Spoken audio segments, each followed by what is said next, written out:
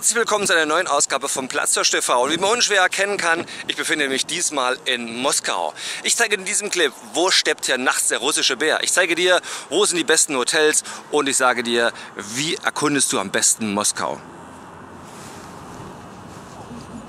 Logo als KGB-Agent und ich zeige dir auch noch, wie ich mich zu Lenin ins Mausoleum reingeschlichen habe. Viel Spaß mit dem Clip.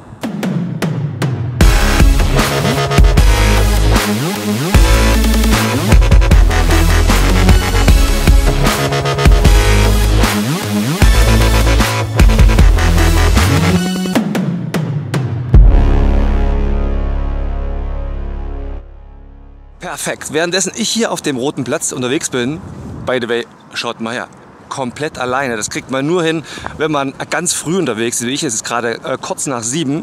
Und äh, da kriegt man den Platz mal ganz alleine. Tagsüber sind hier Massenmenschen. Aber bevor ich euch jetzt mal ähm, meine Highlights zeige, beginnen wir doch mal mit einem kleinen Faktencheck zu Moskau. Moskau hat 13 Millionen Einwohner. Sie ist die Hauptstadt von Russlands und somit auch politisches Zentrum. Einen idealen Einstieg in ein Moskau-Wochenende findest du im Hightech-Kino Sardartje.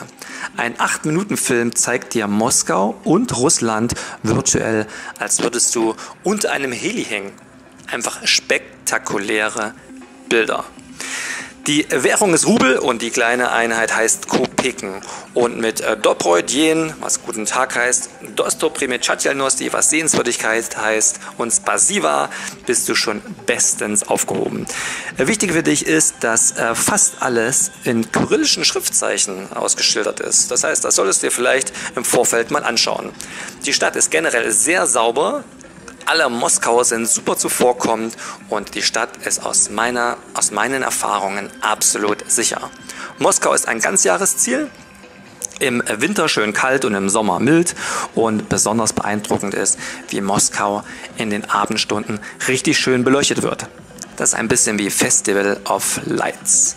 Natürlich ist Moskau auch ein Magnet für die Superreichen, dennoch ist das Preis-Leistungs-Verhältnis absolut akzeptabel. Ja, wie äh, schaut man sich denn die Stadt jetzt ganz genau an? Man kann natürlich einen Guide buchen, man kann sich natürlich irgendwie so eine kleine City-Tour organisieren, aber richtig spannend wird's, wenn du als KGB-Agent hier unterwegs bist. So, habe ich es richtig rum? Ja.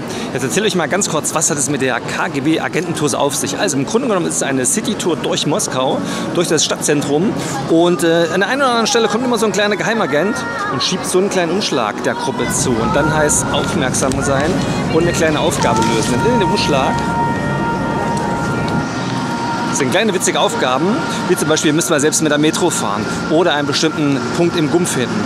Und äh, an dieser Sache, genau, erklärt sich quasi so ein bisschen das ganze Bild von Moskau. Also im Endeffekt ist es eine, eine spannende, unterhaltsame City-Tour durch Moskau, so ein bisschen aufgepeppt mit ein bisschen witzigen Anekdoten. Also spaßig, unterhaltsam und vor allem mega ist natürlich mit der Schapka. So, nochmal ein kleiner Tipp zu U-Bahn fahren. Wer gerne mal U-Bahn fahren möchte in Moskau. Also, es ist nicht immer so schön leer, wie es jetzt gerade ist, wenn man hier mal schaut Rush Hour früh und abends hier richtig was los. Denn jeden Tag benutzen ca. 10 Millionen Menschen die Öffis hier in Moskau. So, Shopping, ganz großes Thema. Der Russe kauft gern ein, übertreibt gern viel Bling Bling. Und das ist natürlich ein absolutes Muss. Und zwar bin ich im Kaufhaus Gumm. So, ich bin ja Kind der DDR, das heißt, ich hatte noch auch zwei Jahre Russischunterricht. Frau Stormer-Johann, lass, lass ich mal grüßen hier an der Stelle. Und das ist hier also absolut schön, beeindruckend für äh, international, mit internationalen Brands versehen, kann mir wirklich alles kaufen, was man möchte. Oder eben mal wie ich, mal von der Kälte ein bisschen aufwärmen und einfach mal ein bisschen die Atmosphäre genießen. Ich schwenk hier mal rein. Kauf was Gumm. Also äh, eins der Pflichtbesuche, die man machen muss, wenn man hier in Moskau unterwegs ist. So, hier noch ein kleiner Geheimtipp. Wie wäre es mit einem kleinen Mitbringsel? Also ein bisschen Krebskoje-Sekt oder ein bisschen Kaviar. In diesem wunderschönen Kaufhaus, würde ich mal sagen, findest du alle Delikatessen, was Russland so zu bieten hat. Also hier bist du genau richtig, wenn du noch ein paar kleine Geschenke brauchst. Und irgendwann muss auch mal Schluss sein mit dem ganzen KGB-Kram. Und idealerweise endet die Tour im Café Pushkin. Und das ist eine richtige Adresse. Die steht in jedem Reiseführer drin, ist also kein Geheimtipp. Äh, aber am Ende, man muss hingehen, weil es einfach schick ist, weil es einfach einen ganz besonderen Charme hat. Lass uns mal reinschauen. Das Café Pushkin sieht älter aus, als es ist.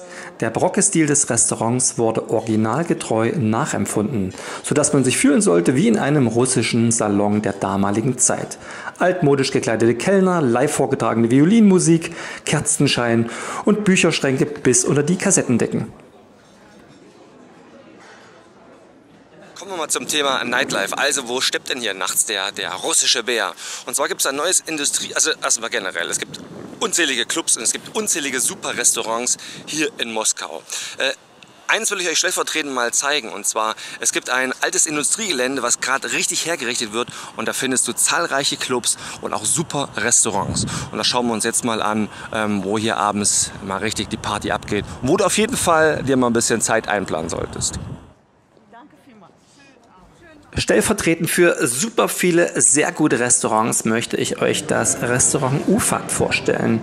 Eine alte sozialistische Spinnerei wurde umgebaut in ein großes Partyareal, wo man zuerst gut essen kann und im Anschluss gleich Tür an Tür noch richtig schön zu Live-Musik abfeiern kann.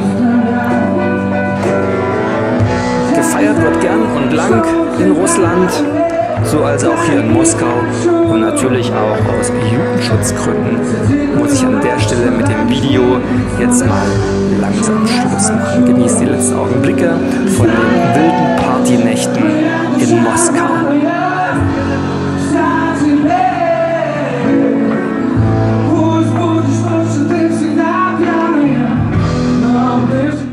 Direkt nach der Partynacht habe ich da meine Schapka wieder aufgesetzt und bin zum Roten Platz gelaufen, zum Mausoleum.